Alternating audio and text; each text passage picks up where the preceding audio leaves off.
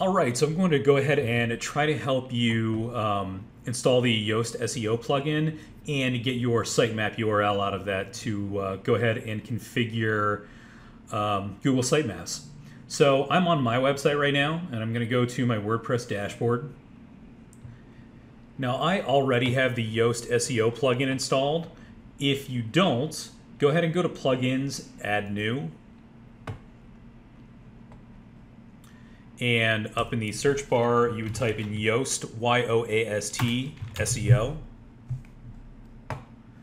And you would go ahead and click the Install Now button on that. Now, obviously, I already have it installed, so it's telling me to update it.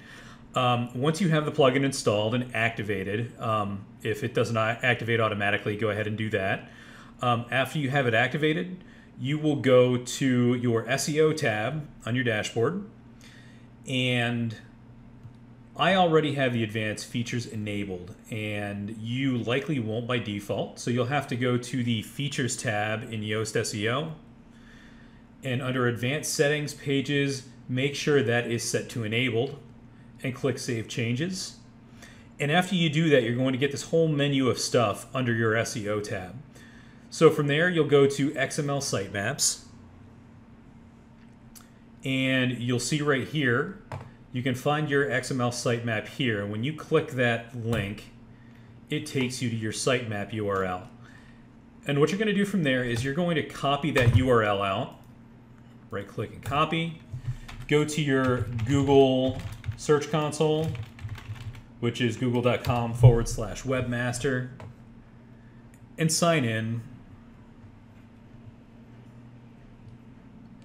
And underneath the uh, underneath the site that you are looking to change, you would click the URL. Obviously, this isn't my site, but I'm just doing this as an example.